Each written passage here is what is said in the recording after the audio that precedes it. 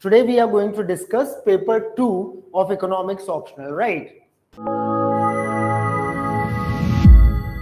So hello everyone, a very good afternoon. Today we are going to discuss paper 2 of economics optional, right? So what I am going to do is, see, as you all know that this is optional paper and you have to present your answers in 150, 250 and so on in these many words.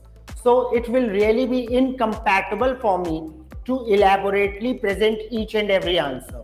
So rather what I'll try to do is I'll give the key points of each and every answer and I'll tell you that, that how you could have presented the answer, what would have been the most appropriate way to score marks, right? So let's get started. Question number one. Just minute.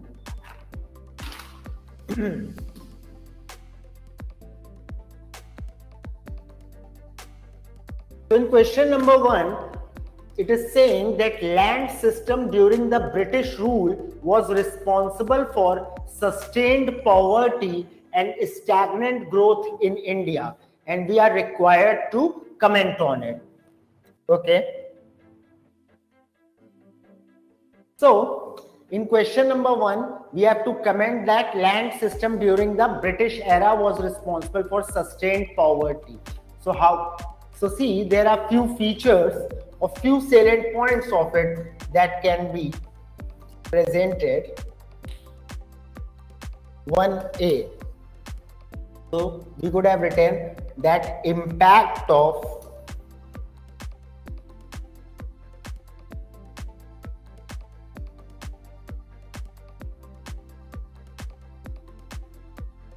land system.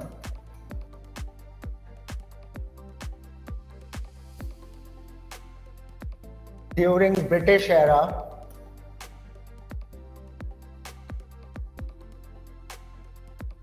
in India is a complex issue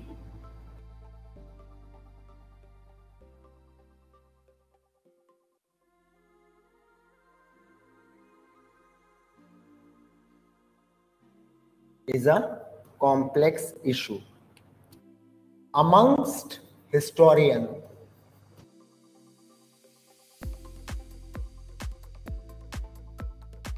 fine. So this is the introduction phase. You could give a bit of introduction that is in a line or two the introduction. Then you could directly jump to the points that the key points regarding land system during British rule. So the point like land revenue system,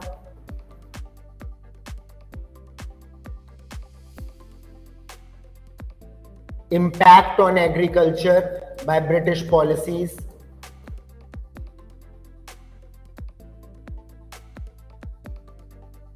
third is commercialization of agriculture.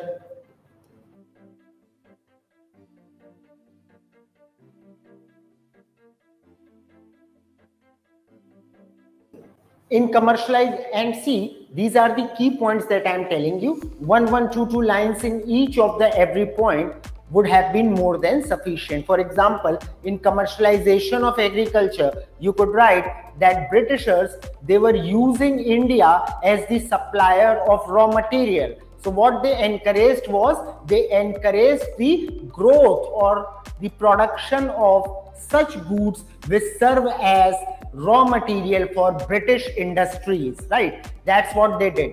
They propagated the production of commercial crops Okay, that's what commercialization of agriculture means.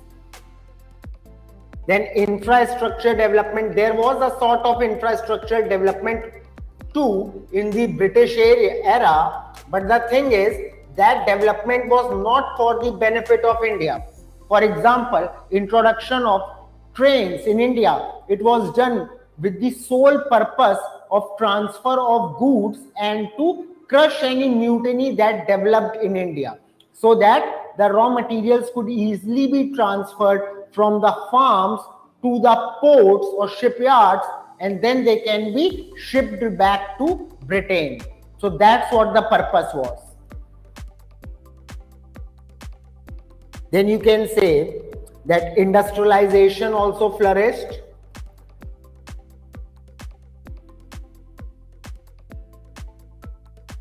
Okay, and due to these policies of British, a bit of explanation on poverty.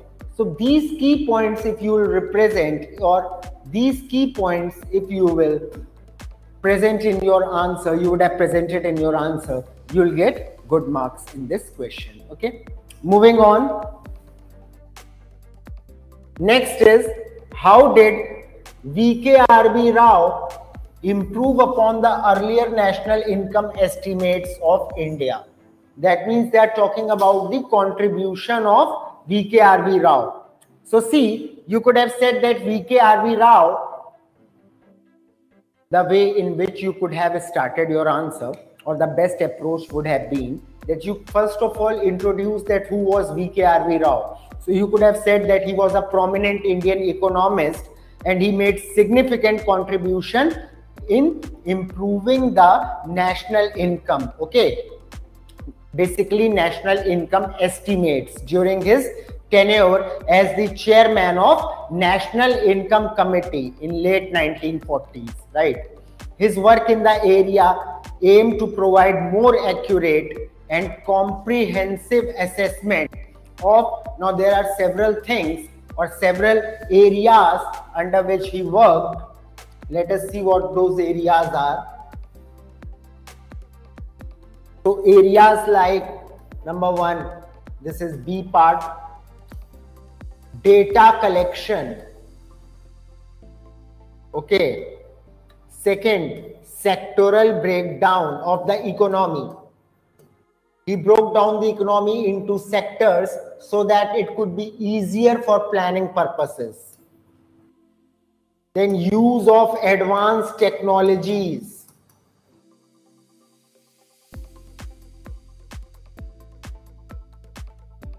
Then you have integration of regional data. See guys, the regional data was not available okay at dispose. So what VKRV Rao did was he made significant efforts to collect the regional data to see that what is the ratio or how much land is owned by a particular farmer. What's the average land holding capacity of a farmer? All these data they were quite essential for the planning purpose and vkrv rao played a significant role in it. So integration that is combination of regional data okay then income distribution analysis how the income is distributed. This analysis was also done by him. Historical data.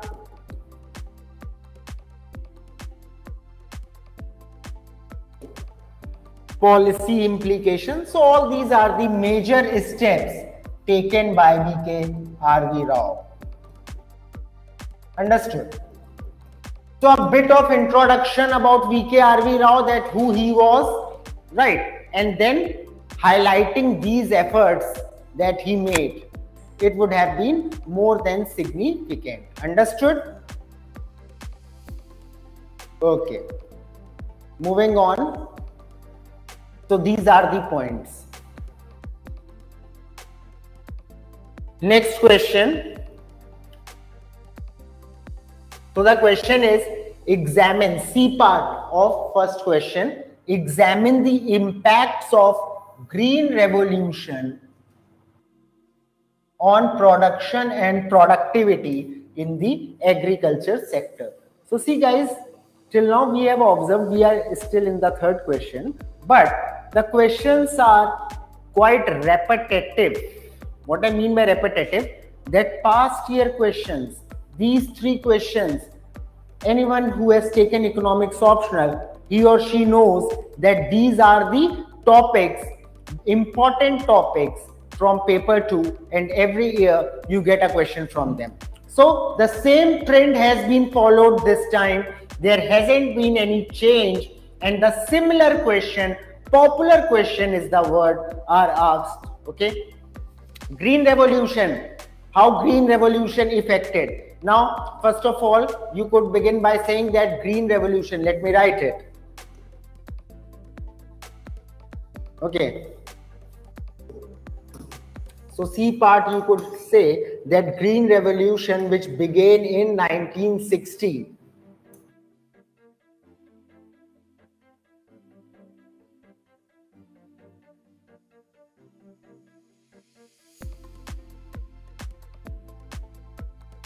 right. Had had a profound impact.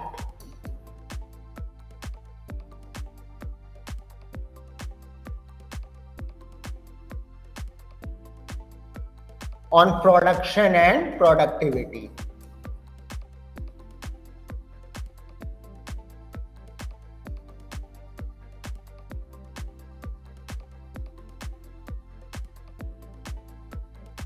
obviously in agricultural sector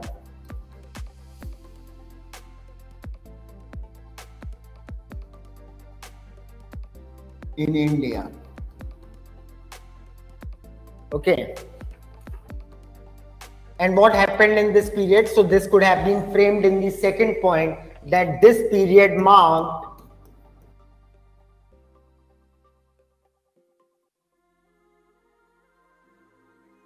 a significant shift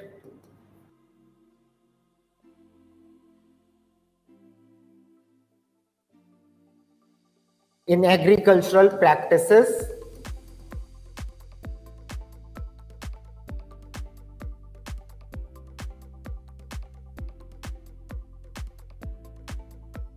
And what those shifts were so adoption of high yielding crops or high yielding seed high yielding crop varieties and this was guys a major effect a major impact of green revolution that high yielding crop varieties were adopted. Increased use of fertilizers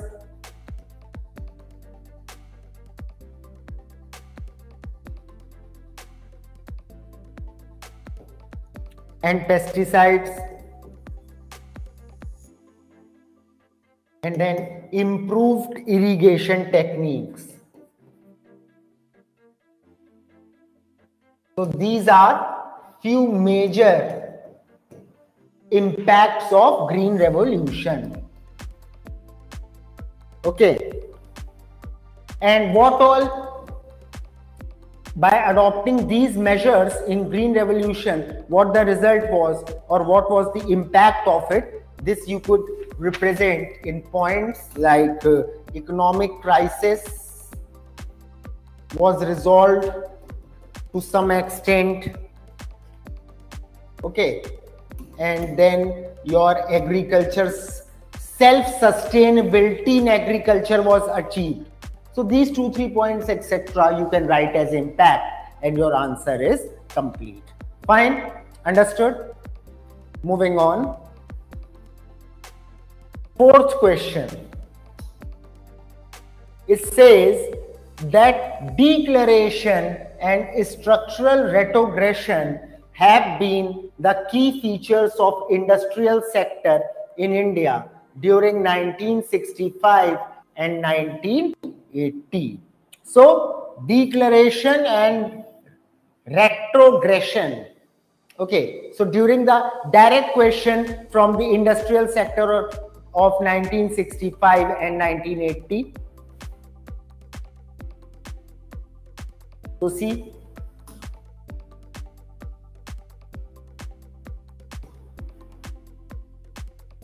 so there are several heads under which this answer could be presented. I'm just stating out the heads and you could describe these heads and your answer will be complete.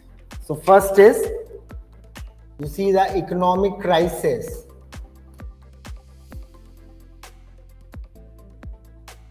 Number two, license Raj and bureaucratic hurdles.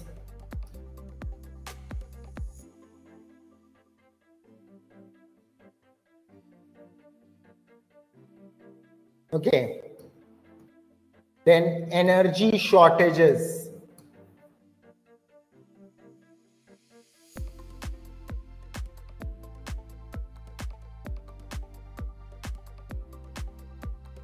Slow industrial growth.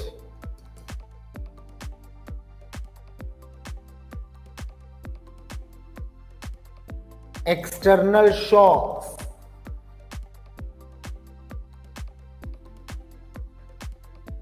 And then political instability. So under these six points, you could describe the impacts.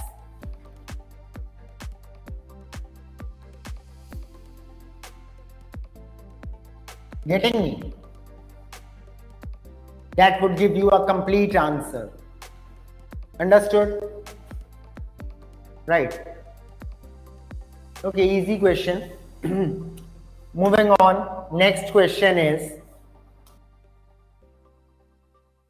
examine the factors responsible for acceleration in the growth of national income in the decade of 1980s as against 1960 and 1970. So what the question is asking us that there was acceleration okay in the growth of national income so what were the factors that accelerated the national income in 1980s in comparison to 1960s and 70s? That's what we have to tell in this answer. So let us see.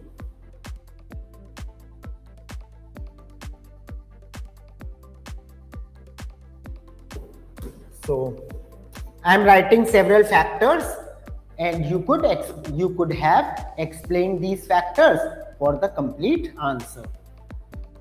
So factors like economic reforms,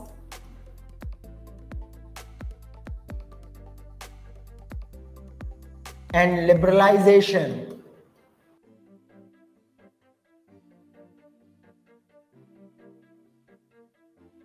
Second, increased industrialization.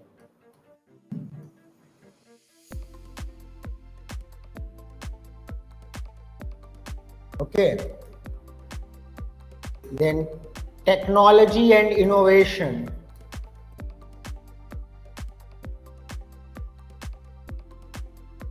Export oriented growth.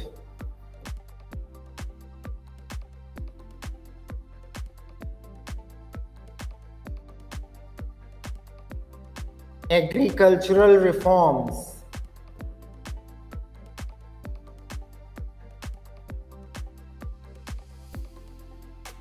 Services or service sector boom.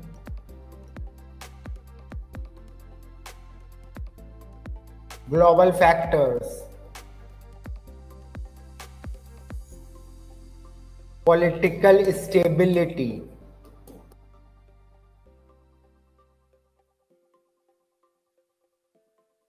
Improved infrastructure and logistics So these are several points which could have been illustrated. In economic reforms, you could write that the different reforms that were taken in the period of 80s, liberalization policy followed by government, increased industrialization, industrialization got a push from government side and industries, the number of industries also increased considerably. Technology and innovation, the era was of innovation. New technologies were introduced in the market these also led to the growth export oriented growth. Now people or companies local companies domestic companies they started exporting the indian products outside thereby fetching the foreign income. Agricultural reforms already discussed green revolution. So this is post green revolution era. So now the fruits of green revolution what tasted in this era. So that also gave the push in the economy. Then service sector boom. A new sector evolved and that is the service sector. And it got a high boom in this period. Global factors. Certain global factors you could mention. Then political stability. This was the time of political stability. Indira gandhi was the prime minister. And improved infrastructure attention was also laid on improving the infrastructure of the country. This also led to the growth. Understood? So these are the several points that were or several factors that led to the growth. Understood? Okay Moving on. Next question is it says explain the main features of money and credit policies in India during the independence era.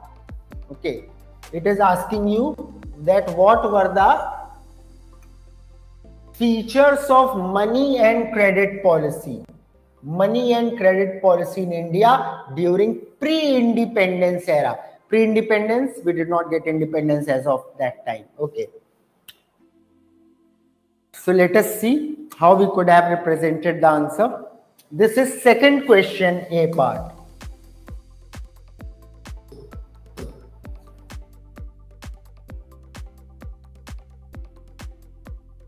See guys, during pre-independence era, the credit system, money control system was very complex and it was fragmentized. There was no central authority to govern the system. So the system was fragmentized and it was very complex due to this fragmentization. Okay. So a bit of introduction of it that complex and fragmented monetary and credit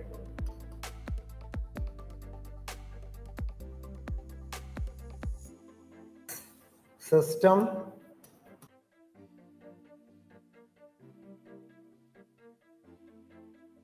Characterized by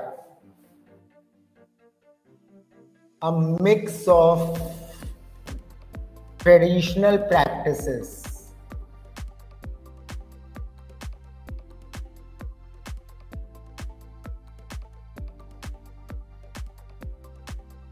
Okay. And lack of uniformity of currency. This is important point that there was no uniform currency even uniformity of currency. Then several aspects are here that can be illustrated like barter system. Okay a bit of explanation of it. Then heterogeneous currency, as I told you, no uniform currency was prevalent. Heterogeneous, different states, different regions using different forms of currencies.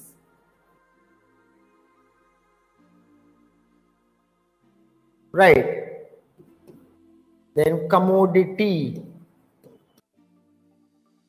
money, indigenous banking indigenous banking. No proper banking system. In fact indigenous banking that means as of now we use checks and all. At that time hundis were used okay? The proper explanation of this in our regular classes we have given. Agricultural credit So farmers faced tremendous amount of problems and issues in acquiring agricultural credits to strengthen their growth process. Hmm. To implant different crops, they needed money and there was no proper or formal scenario of agricultural credit. So they faced several problems. They borrowed the money from the local money lenders. And this money was given out or lended out at high rate of interest. So farmers were not able to pay out the money. The interest rate was so high that forget about the principal. Farmers were not even able to pay out the interest of that principal. So this was a huge problem then limited access to credit as i told you since there was no central banking authority so indigenous banking practices were there so credit was not a thing that could be acquired by everyone. Limited access to credit. Okay. Then jamidars were also prevalent at that time. Jamidari system or role of jamidars. And then you can write no central bank, no central banking authority. So all these were the features of pre-independence economy. And this is more than sufficient. It will fetch you good marks. Okay. Moving on. B is what are the factors contributing towards shift in sectoral composition in gross national product that is GNP in India during the pre-economic reform period? And we have to discuss it okay? So i'm writing the points that were required. Several aspects are there. I'm just writing the aspects and you could explain these aspects and you will get good marks just a minute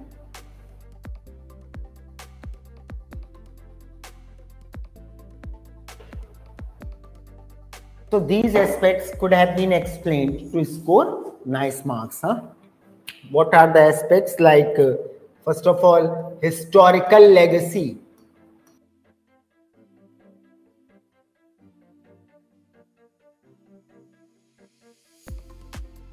Agricultural dominance.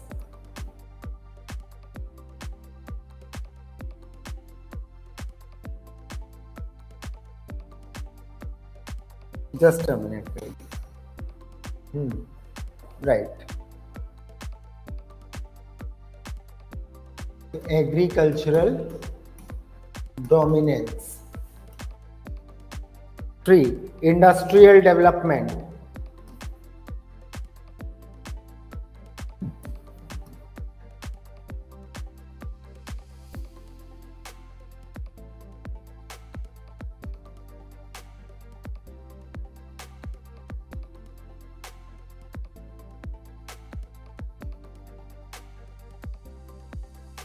Then public sector dominance. Agricultural reforms.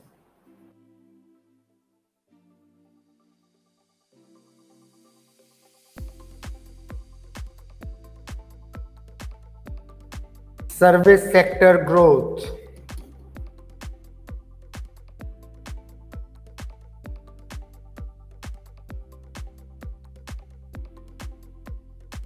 trade policies.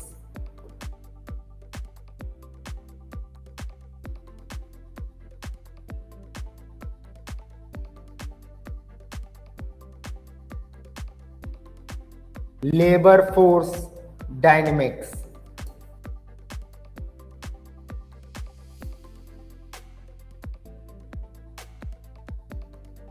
and income disparities.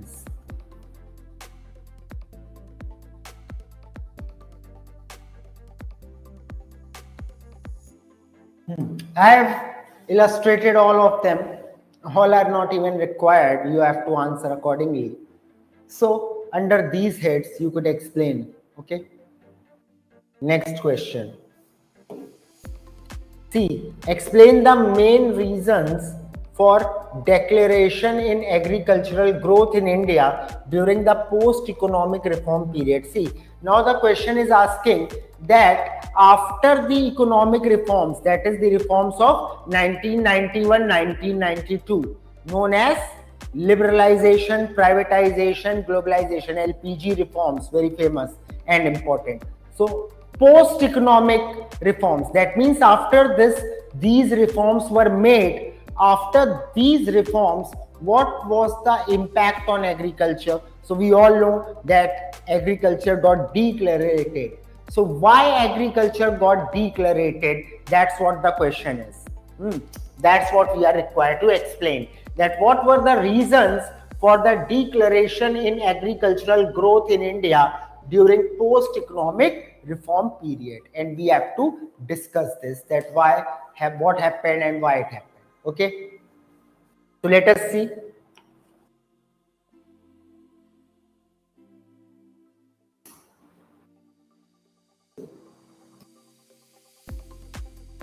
So there are several reasons why agriculture got decelerated. What are the factors which led to the deceleration of the agriculture after uh, economic reforms or post-economic reforms? And they can be C part of question 2. Number 1, neglect of agriculture. See guys, agriculture was neglected after economic reforms by the government. Government did not give that much heed to agriculture as it used to give. Second, limited reforms. After this period, limited reforms were done in the agricultural sector. So limited reforms of agriculture. Then lack of investment. Not much investment was made in this sector okay? So lack of investment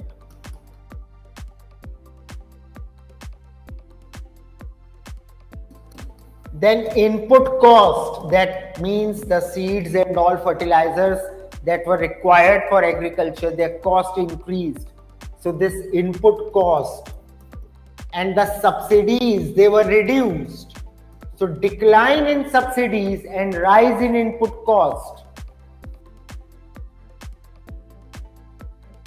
Price volatility.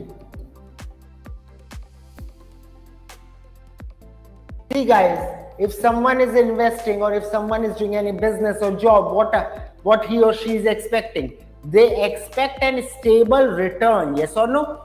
Stable return is expected but that's not the case with agriculture. Hmm. farmer he invested his money he worked for and really he worked hard for entire season. Now at the time of cultivation anything can happen his crops can be destroyed or he may not be able to sell out his crops at a proper rate. The rate that will suffice to the efforts made by him and will provide him some profit so that he can take care of himself and his family. So all these things are not uh, not certain. Even after working so hard even after investing money farmer may suffer loss. And what why to say may mostly they used to suffer losses that's how volatile the scenario of agriculture was. Okay. So when such was the case, so what happened? Farmers started giving up this occupation, this paternal occupation of theirs, and they, most of them, they shifted to the labor class. They became the laborers. Okay. Thereby leading to the deceleration. Land fragmentation. Huh? very important it is land was subdivided and again subdivided between brothers climate change and weather condition which led to the which adversely affected the growth of the crop market access there were not many markets available to the farmers to sell out their produce and the access to the market was very complex market access, and price realization. Okay. Market access and price realization. Next is the debt that the farmers were facing. So all these are the different factors. Okay. Clear? Moving on. Next question. Third question A part. So the question is that discuss the role of Dr. Gadgil in economic planning and development. Very important. Rao has been asked and the second question on Gadgil. Okay. So again an expected question. Just a minute guys. Okay. So it's very much expected question, very easy. So Dr. Gadgil, that is Dhananjay Ramchandra Gadgil. Fine. So let me write down few points that what you could have written in your answer to score good marks.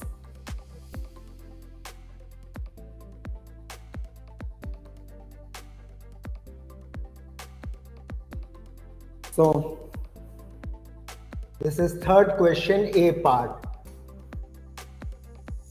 So Dhananjay Ramchandra Gadgil, a very famous economist in India,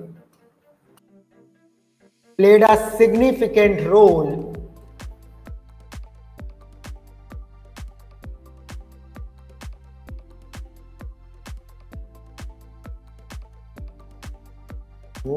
in economic planning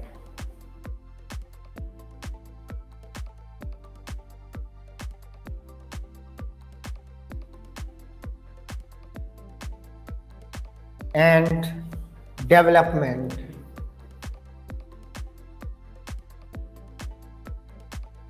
in India.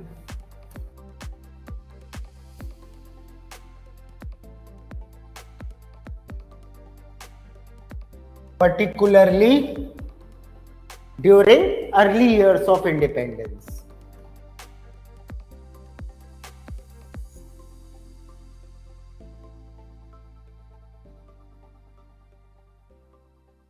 So this much introduction is more than sufficient. Now you could highlight the aspects of it that what are the sectors or what are the different things that he did or the phases on which he focused. So that is inclusive growth. So as we know that Gadgil was a big promoter of inclusive growth. Fine agree. Then advocacy of balanced growth. Balanced growth that it shouldn't be the case that rich is getting richer and poor is getting poorer. Okay. The growth in the country should be balanced. Everyone should be benefited from the growth of the country. That's what his point of view was Then agricultural development.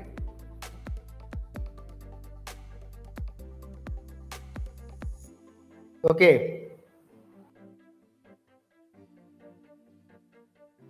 He also promoted this thing that there should be agricultural development, then industrialization and infrastructure. This is a field where he worked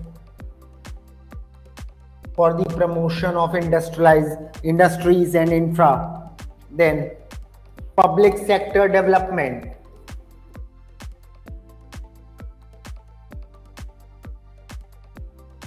Okay. Then he paid, he played a major role in third five-year plan from 61 to 66. Third five-year plan FYP special attention was also laid on human development, land reforms, which he did,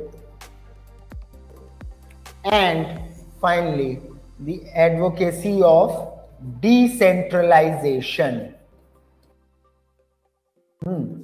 That center should not hold everything.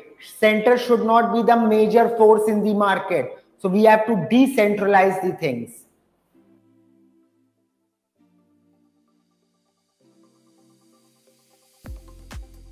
So as you can see, his contribution was quite big in Indian economy. Understood?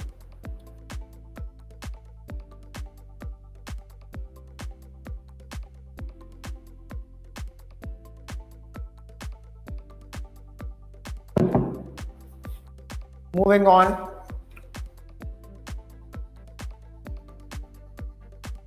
Next question is B part of the third question that explain the role of public sector in the Indian economy. Public sector, government companies, PSUs, public sector undertakings, and PSEs, public sector enterprises. Also point out its main problems faced during 1970 to 1980. So first of all, they are asking us that what was the role of public sector in the growth of Indian economy. And then they are asking, the second part of question is asking that what were the problems, major problems faced by this sector, okay?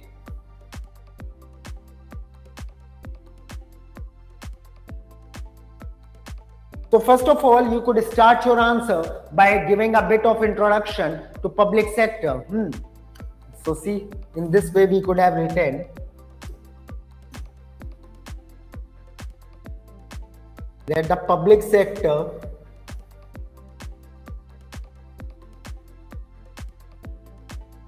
played a significant role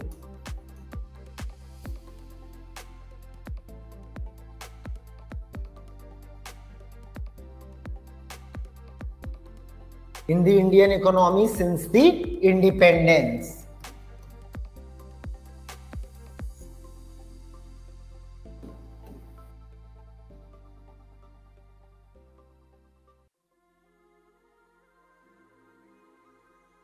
Okay.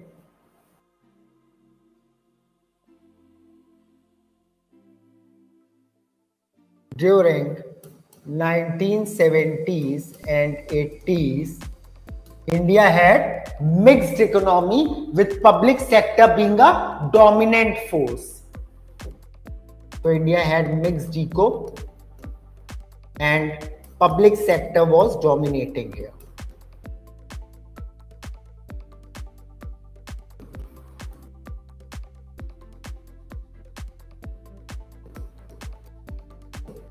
Okay. Both the sectors coexisted, but again, public sector was the dominant sector. So what all happened here, see? So first you can write the merits that how this public sector helped in the growth of Indian economy. So several merits I am writing. Like industrial development,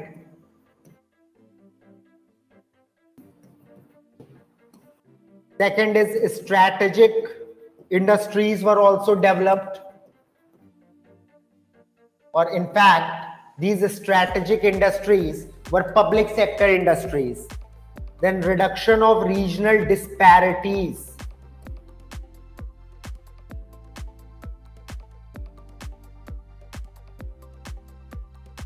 So see guys, these industries it was not like public sector undertakings were developed in a particular region. No, they were distributed throughout the India depending on the availability of raw materials and land and labor. So this led to what? It led to the narrowing down of the disparities in the region. It was not like that a particular state is favored by the government, so all the PSUs will be located there. No.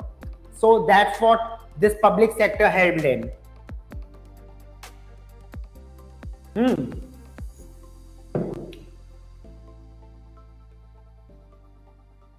Then you can say, yeah, obviously it provided employment to the huge chunk of our population. Resource mobilization, obviously.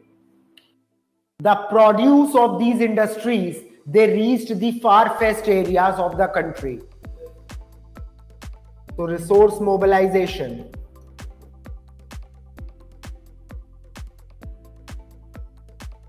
Right.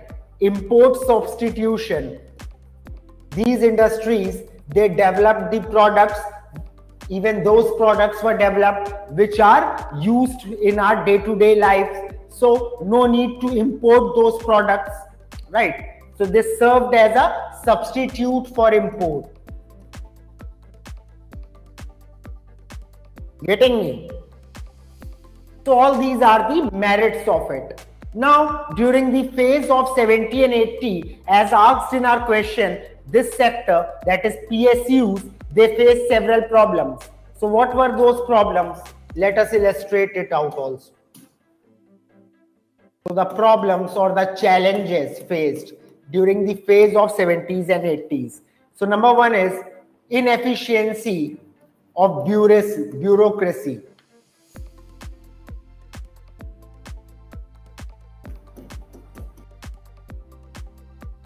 See guys, bureaucrats were running these industries and they were taking bribes they were inefficient they were lazy they were not fulfilling the targets.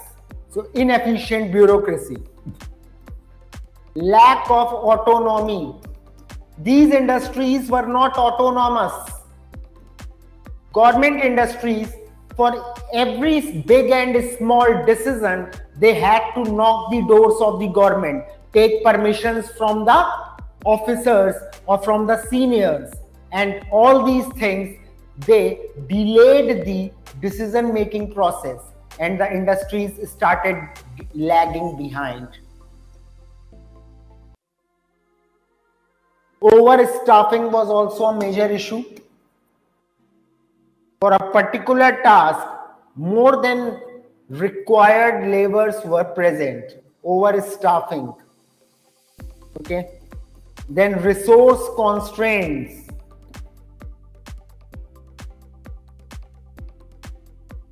Low profitability.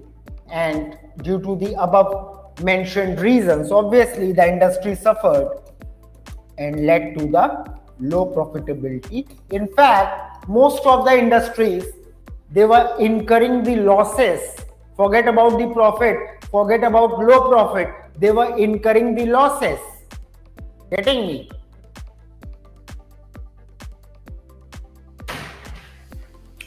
So this is more than sufficient for B part of the question. Moving on. C part is saying explain the concept of ceiling on agricultural land holding in India. Examine its rationality with respect to equity and efficiency. Okay.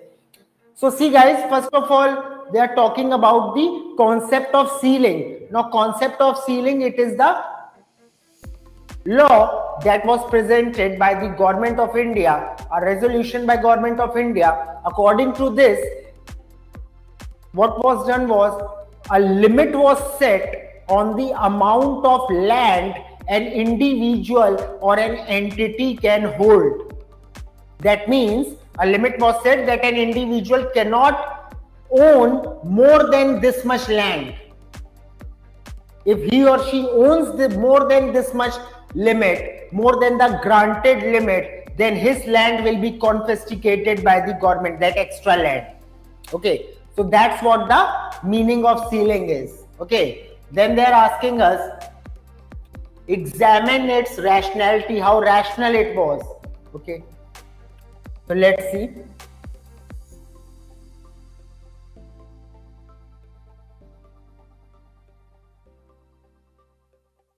So it's the C part of the third question.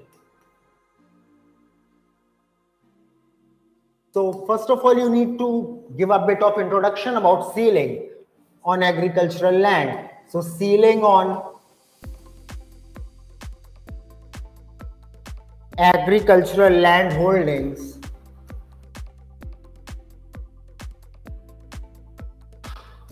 In India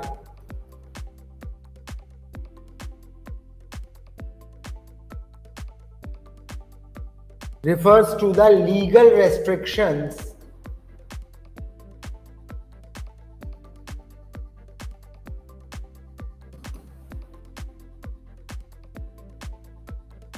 imposed by the government.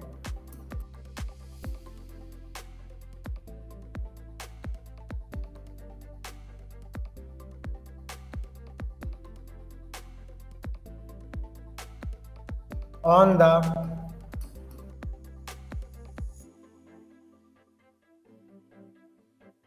maximum amount of agricultural land that an individual or entity can hold.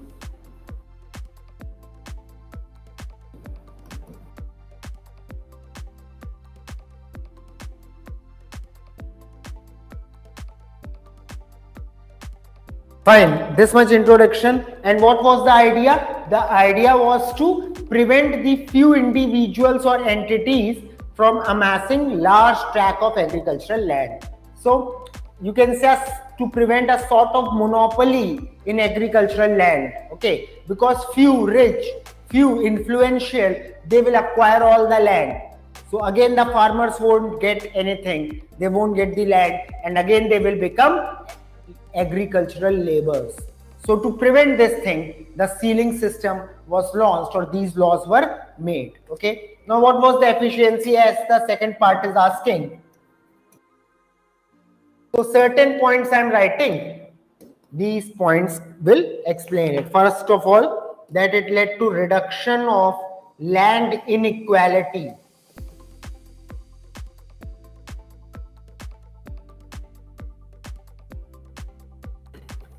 Second is enhanced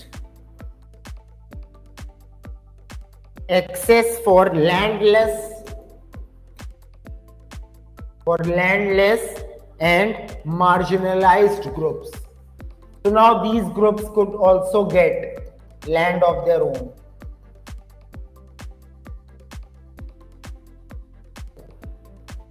Fine. Encouragement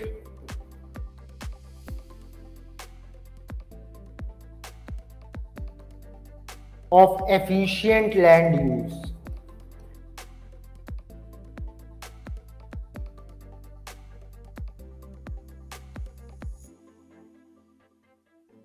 Then, as I told you, prevention of land monopolies. So all these were the positive factors or positive impacts of it.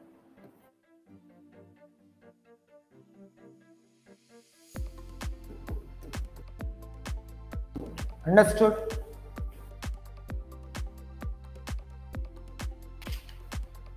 Okay, please look at it, then we'll proceed.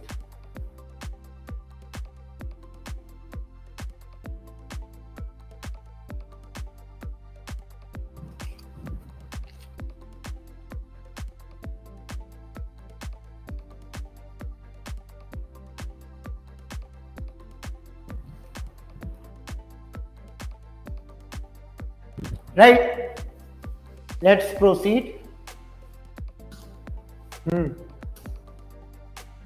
Next question, fourth question.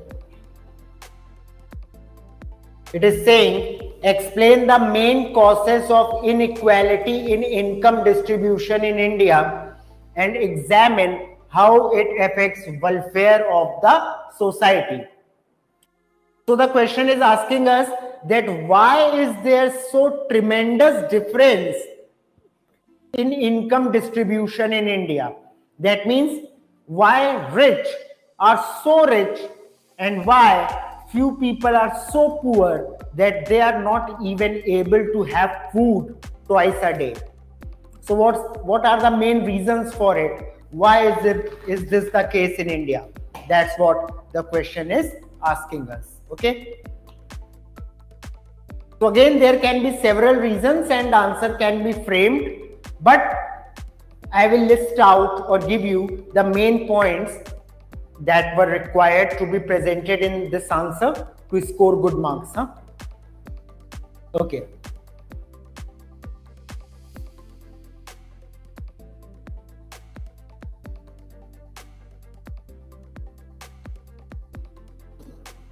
So this is the A part of fourth question.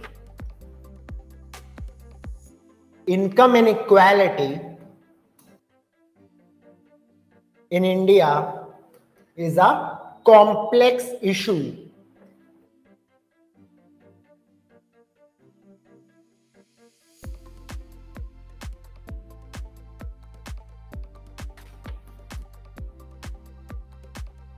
influenced by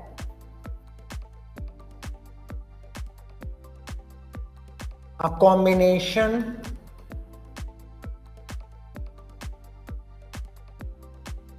of historical comma economic social and policy related factors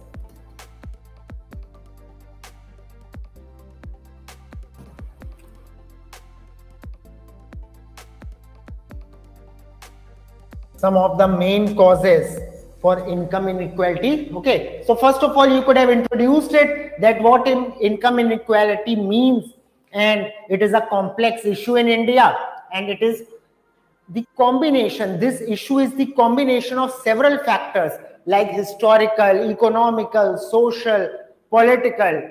Then you could list out the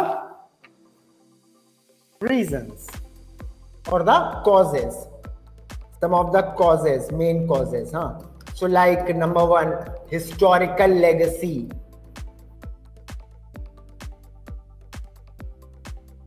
Then educational disparities.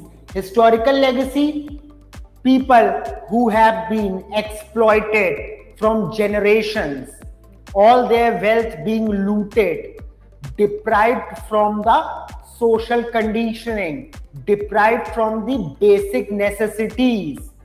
So, such families, such people, they have been facing poverty from the lineage. Getting my point? Their fathers, forefathers, everyone was born and died in poverty. So, that's what it is historical legacy. Second is educational disparities a particular section of the society was educated to the core. They studied in the universities like Oxford, Cambridge, Harvard.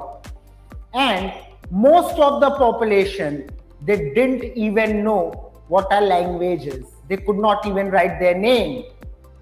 So such was the case. So educational disparities. Rural urban divide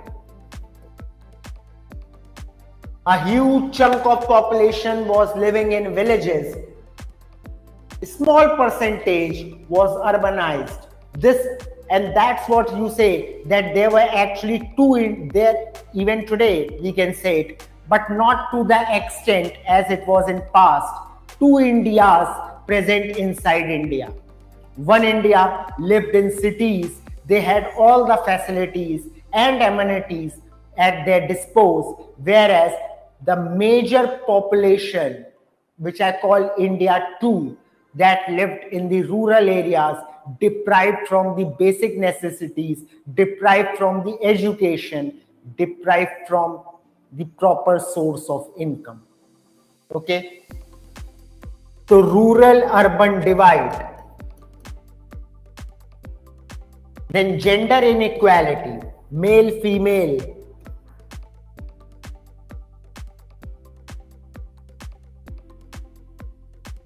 wealth concentration.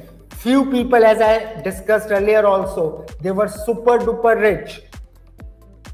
Entire wealth was concentrated to the few. Lack of access to assets.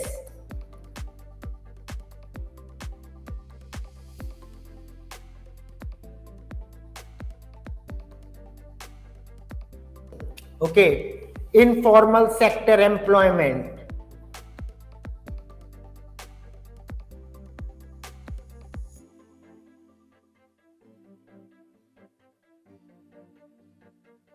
And finally, economic disparities across the state. Few states were super rich, like Maharashtra. Okay, if not not to use the word super rich, but then too, they were well off, like Maharashtra, Gujarat, and few states like Bihar, UP, they were below poverty line.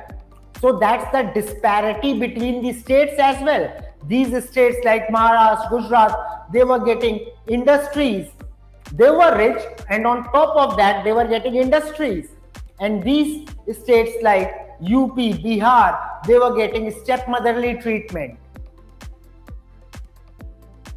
Economic disparities across states.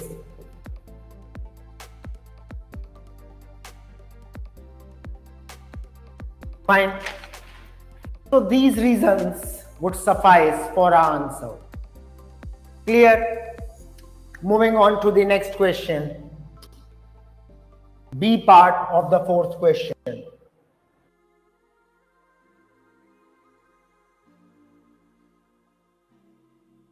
Just a minute, guys. Yeah, it is saying describe the pattern and trends in national income in India during the pre-economic reform period. That how the national income was distributed, what was the trend of national income, but they are talking about pre-economic period. That means before 1991 and 1992. Again, a very easy and straight out question it is. Okay, so see this pre-economic reform era this pre-economic reform era, it can be subdivided into several heads and I will illustrate the features of each and every era. Hmm? Okay, after independence from in, or you can say from independence to 1991 and 1902, this period can be subdivided. So I will illustrate the period and then I will tell you the features of national income in that period. Okay.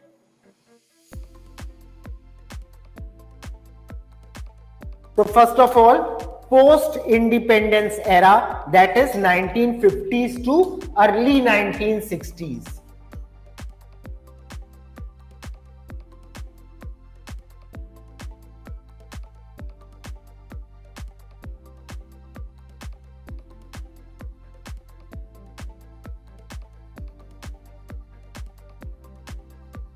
Okay, guys. So what were the features of national income in this era? So you can say mixed economy model was followed. That means public sector and private sector both were there, but public sector was a dominating force.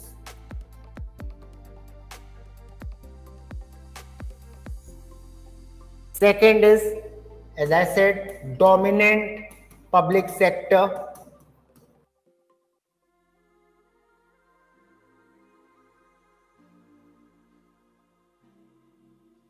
Third is focus, industrialization, and self-sufficiency. See guys, this is also the aspect of this era that the focus was on industrialization and the goods that were produced by industries, they were sufficient to meet the demand of the people because people were not that much educated. Eh, most of the population was living in the rural areas. So demand was not that high. That is why these industries were able to meet out the requirements. Or you can say self sufficiency state was there. Thereby national income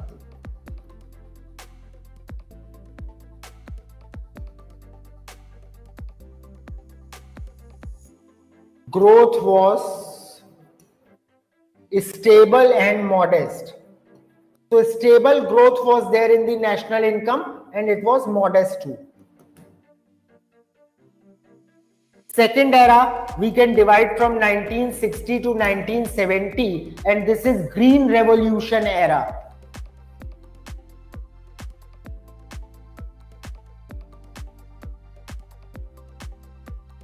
So, green revolution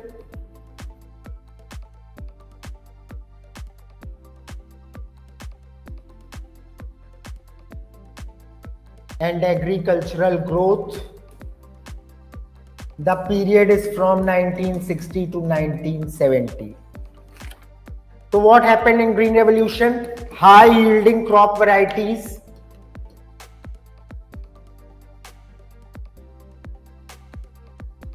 high yielding seeds were introduced due to which high yielding crop varieties modern farming techniques were introduced.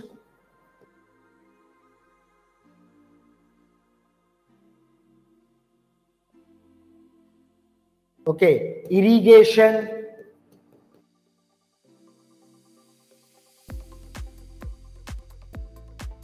Then significant increase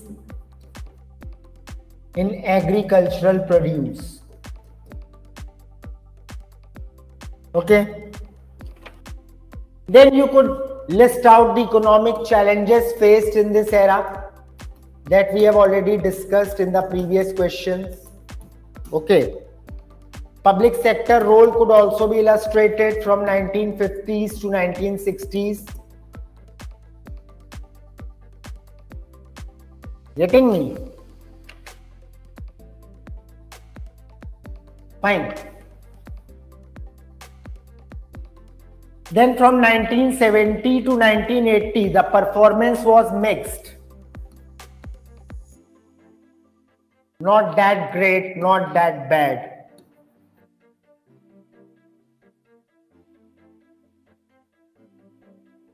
And in the late 1980s, government made the reforms in 91 and 92 but in the late 1980s the shift was towards the liberalization. Shifting process started earlier.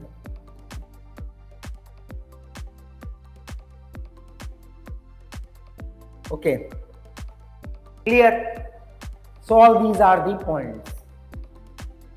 Moving on.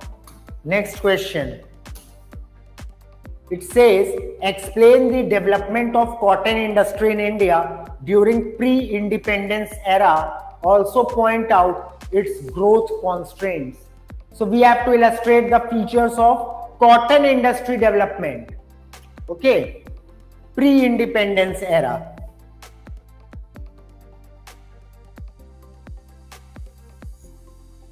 So see, This is C part. So development of cotton industry.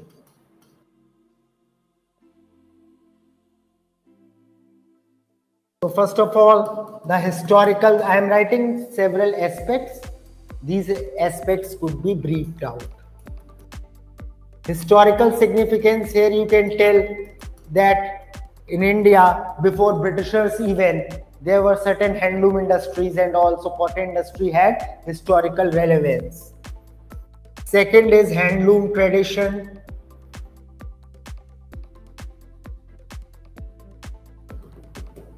Third is domestic and international demand. Demand for cotton was present domestically as well as internationally.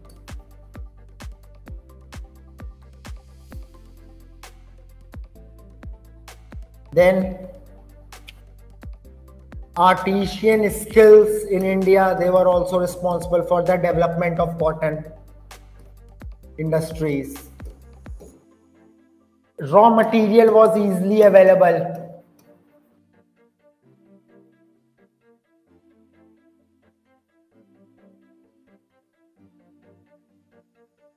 Fine guys. So these are the several aspects which led to the growth of cotton industries. Then it asks you that what were the growth constraints? What were the problems that were hindering the growth? So technological constraints were there. Indian industry or India was not that developed in the field of technology and Britishers never paid attention to that part. Lack of capital, as I said, no banking authority was there to finance. Competition from imported goods. Britishers used India as a market. They took the raw materials from India, made the goods in their country, and then again sent the goods to India. Right? To earn profits. So the competition from those goods.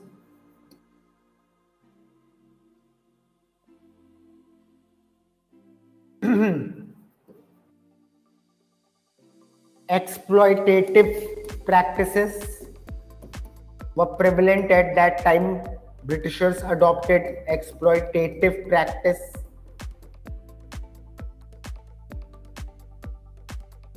Then is the, their policies, colonial policies, market access was not there.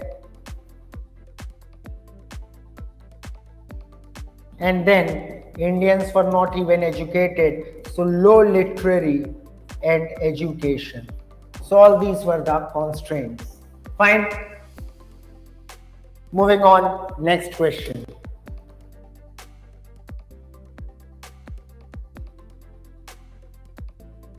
So fifth question, A part. It is saying distinguish between explicit and implicit subsidies.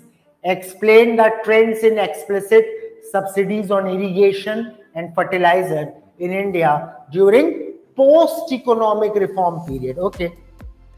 So first of all, difference between explicit and implicit subsidies.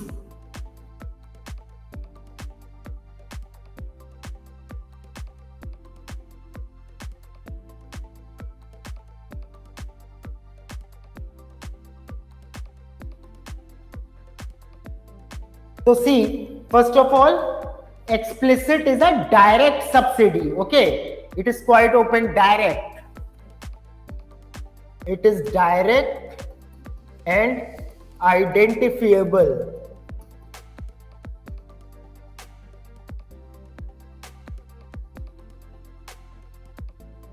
Financial transfers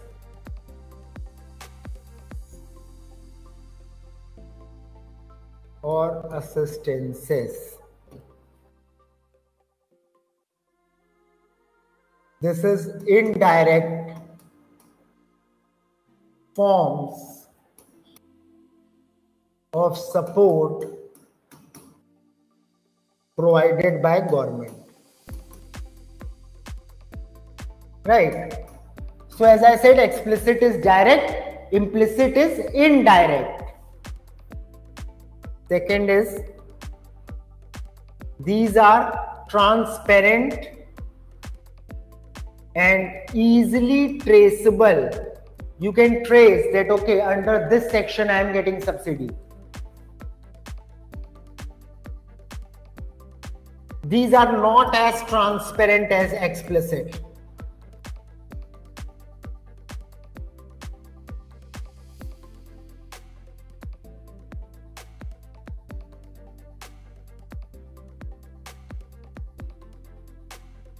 And not clearly accounted in our budget. So, special segmentization in budget is not done for implicit, not clearly accounted for.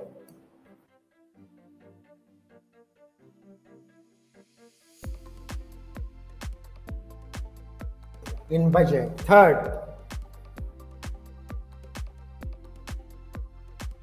targeted to benefit specific group. Okay so these type of explicit subsidies are given for a particular group that targeted group or sectors.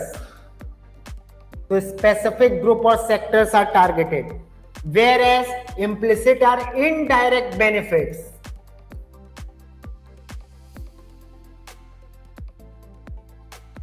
such as lower prices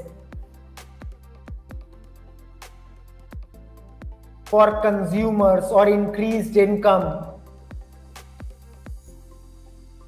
Fine. Then you can give examples. So in case of explicit, you can say food subsidies, fuel subsidies,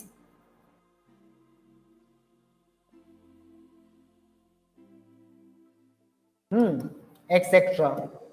In case of implicit, you can say, for example, preferential interest rate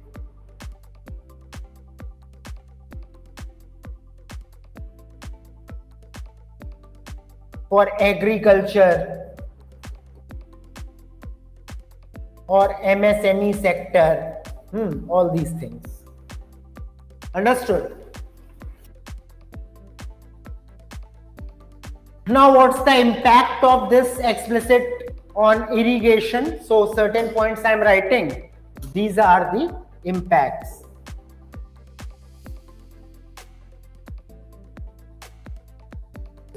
Like irrigation subsidy was given irrigation subsidy then after and this was given post economic reforms okay then fertilizer subsidy was also given. Right. Fine. Moving on. Next question. It is saying examine the salient features of action plan for disinvestment 2009 that means what were the features of the action plan of disinvestment that disinvestment has to be done. So what were the features for it of 2009 so see first of all give a bit of introduction that what this investment means that government withdraws its holdings right from several psus and all. Thereby government gets the money and private participation can be increased in the market so that's why this is done disinvestment. so we can write significant policy investment policy initiative aimed at raising funds for the government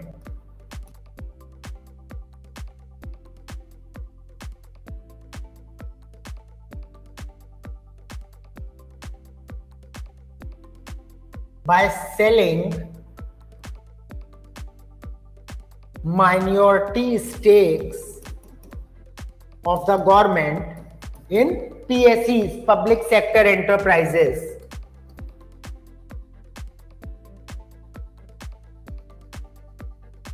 What are these? Number one.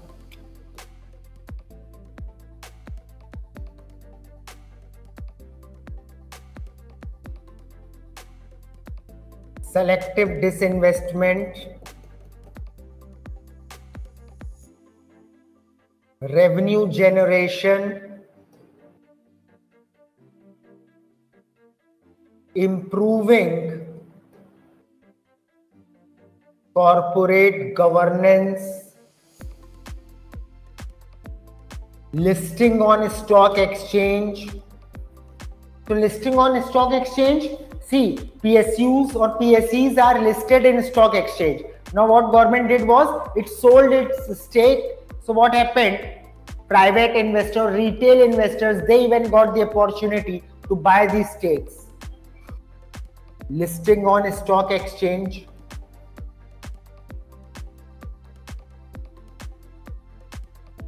Real participation. Then fund utilization So all these are the aspects. Fine. Moving on.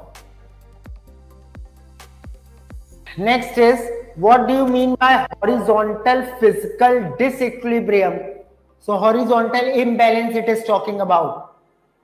In a federal setup and how did the 12th Finance Commission correct such imbalance in India? So see, horizontal imbalance means disparities amongst the state right that some state is more rich it is getting uh, more uh, financial resources another state is uh, poorer in comparison Okay, it is not able to avail that many economic resources, but both the states have got same amount of responsibilities.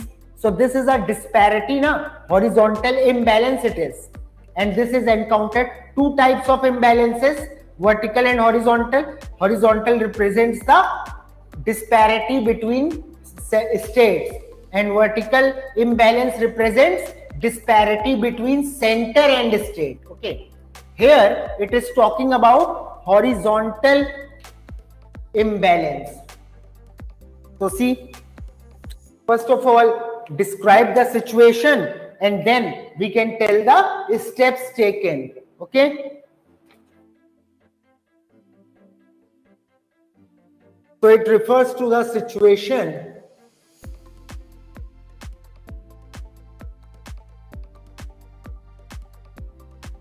where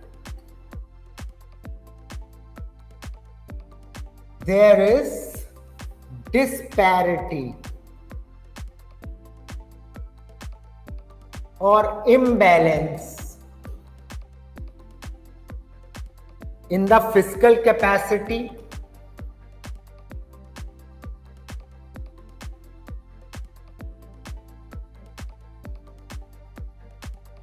and financial resources.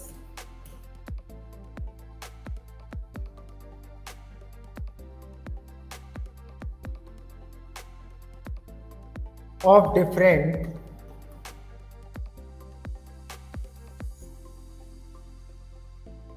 states or regions okay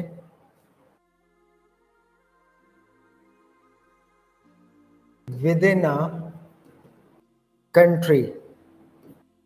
Okay? As I said, now what are the steps taken?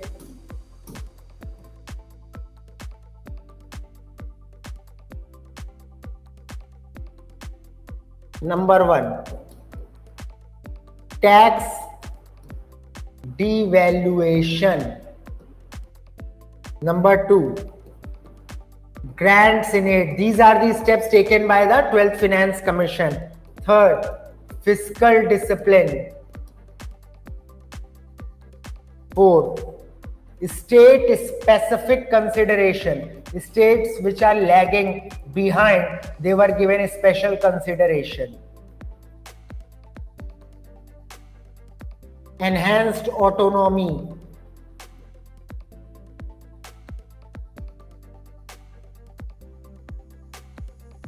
incentivizing the performance.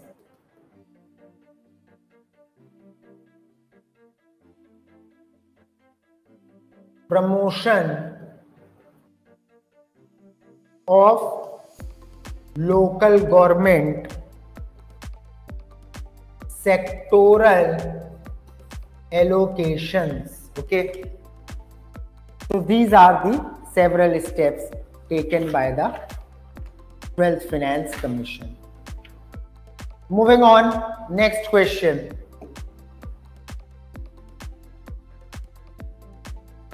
B part, it is saying show how LAF that is liquidity adjustment facility. Now what is LAF? Guys, CRR, SLR, right? These are the tools of central bank, okay? in India emerged as an effective monetary policy instrument to control market fluctuations in the short run. So it is asking you that how CRR and L, SLR it emerged as a as an important tool, okay, by which central bank can uh, coordinate or control the market fluctuations. So a bit of introduction of LAF and then you can illustrate its effectiveness by the several aspects. See, you can say that LAF it emerged as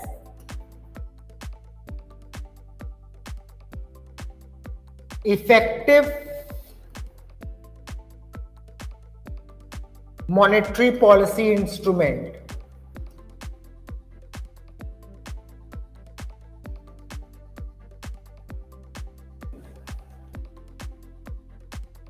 Okay, to control market fluctuations.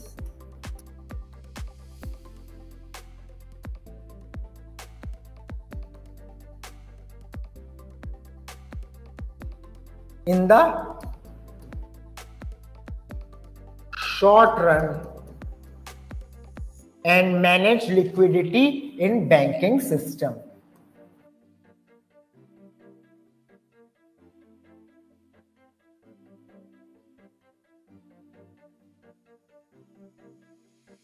Fine. Now you can tell that how it is used, that what is CRR, cash reserve ratio. You can tell that what is CRR, cash reserve ratio, then SLR, that is statutory liquid ratio. That means the money that is deposited in bank, bank has to hold certain ratio of that in form of cash and in SLR it can hold it in form of gold, cash or GSEC that is government securities. Then you can also tell about inflationary and deflationary policy that in inflation what will government what will central bank do it will increase the rate of CRR and SLR. Thereby, banks will not have enough funds to lend out. Now, bank have got their own expenditure to meet out. Thereby, they will lend the limited funds at higher rate of interest. So what will happen? People will shrink away. They will not take the loans. And hence, when people won't take loan, they won't purchase. So the demand in market will decline. As demand will decline, prices of the goods and services will decline, thereby countering the inflation. And just the opposite will happen in case of deflation. So all these explanations can be given and it is more than sufficient. Fine. Moving on, next question. E part. It is saying examine the effectiveness of universal basic income as an approach to poverty elevation in India universal basic income what is see first understand the concept of universal basic income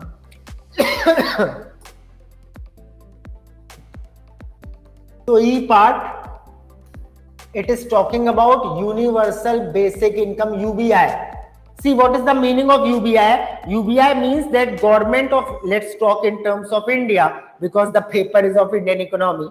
So in UBI, what happens is that government is going to give money to all its citizens, irrespective of the fact of their social status, their income, their caste, creed, religion, anything.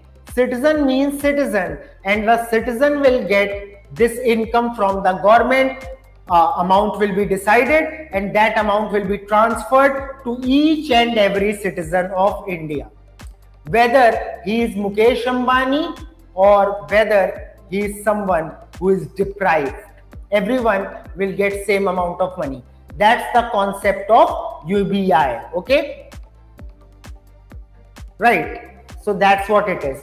Now, how it can help in poverty elevation? Elevation means crushing the poverty, removing the poverty. So there are certain points, the advantages. You can illustrate the advantages and the challenges.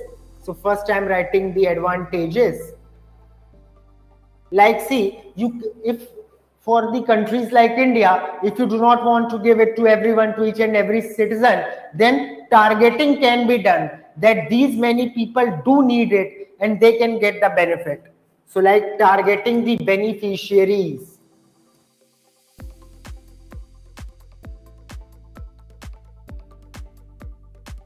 Second is reduction of extreme poverty. This can help in reduction of extreme poverty. Then simplicity and efficiency.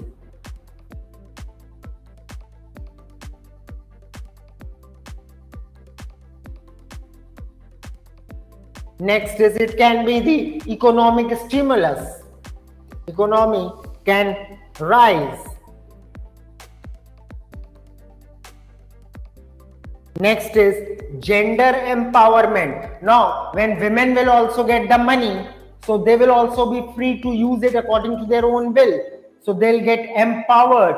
This will result in gender empowerment. Fine. But again, there are several challenges. It's that's why it has not been launched as of now. It's a complex issue. So first is financial viability. For a developing country like India, we first of all have to see that whether this scheme is financially viable to us or not. Can we afford it? Can we counter that much rate of inflation? Second is, as I said, inflationary pressures. Inflation will rise to skies, it will skyrocket. Fiscal discipline has also to be considered. Then effect on labor market, adverse impact because people won't go to work when they are getting the money. So why would they work? Effect on labor market. So labor market will be affected. So all these are the challenges or the negatives about it. Fine. Moving on. Next question. Sixth question. It is saying discuss the characteristic features of AOA, that is Agreement on Agriculture, under Uruguay round of GATT and examine its impact on Indian agriculture. Expected question it is. So see. Sixth question. So first of all, you can describe or introduce bit of AOA that AOA introduced several important features and what was its aim? Its aim was liberalizing global agriculture trade.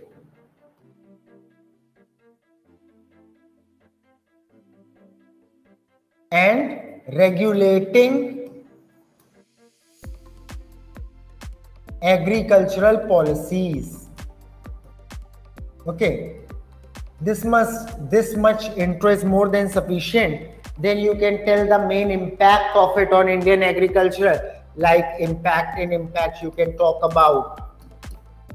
Number one market access to export subsidies.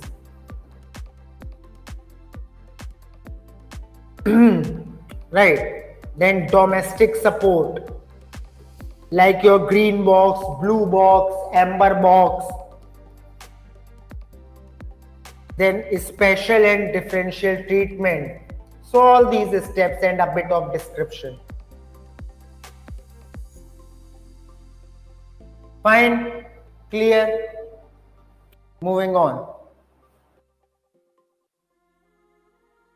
Next question is State the key features of Targeted Public Distribution System TPDS in India. Do you believe that TPDS has been successful in achieving its objective and justification is asked? so what is TPDS? First of all, introduce it. Then we will talk about the second part. So TPDS, it is a government run, run by government food security program.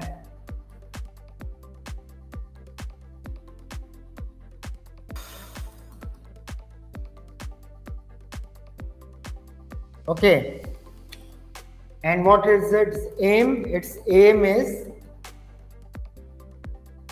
providing subsidized food grains.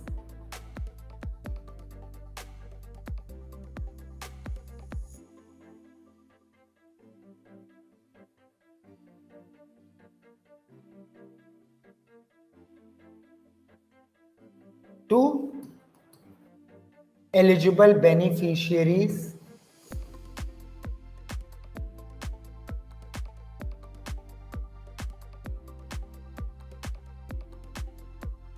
and basically low income household.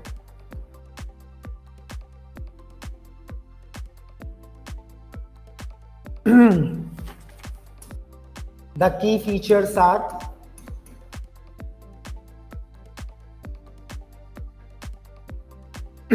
first of all the identification of beneficiaries so that deserving can get the benefit identification then distribution of the commodities then central and state responsibility. Both central government and state government they together handle this. For see in india during the period of corona this thing started and it is it has been applicable till now. So yeah it is success.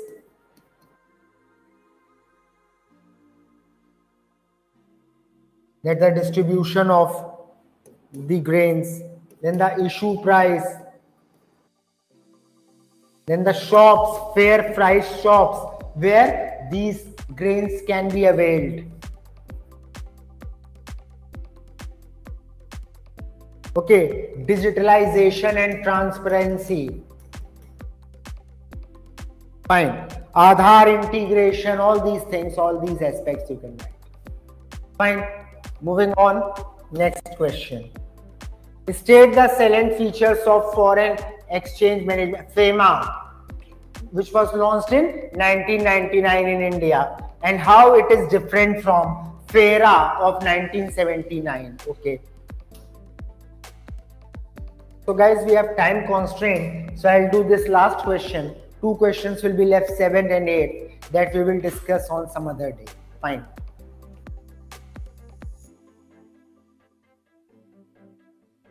So, salient features of FEMA. First is liberalization. The FEMA is more liberalized and simplified. Simplification. Second is current account transparency and distinction also. Current account transactions are handled separately and capital account transactions are handled separately.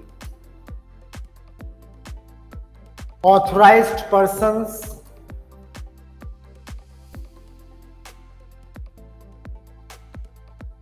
Penalties are there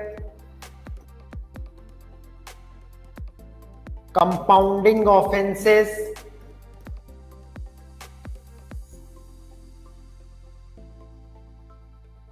Then it regulates foreign exchange market.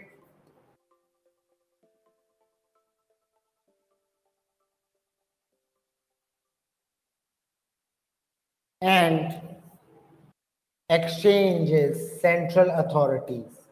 So all these things. How is it different? So distinction from FERA